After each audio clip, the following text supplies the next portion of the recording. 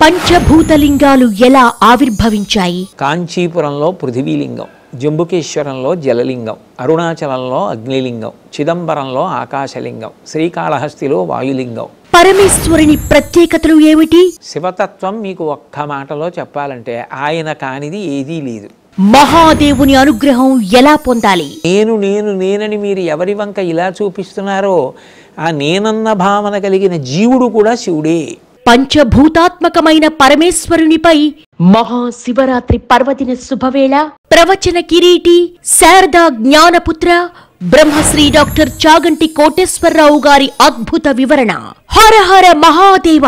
శుక్రవారం రాత్రి తొమ్మిది గంటలకు మీ భక్తి టీవీలో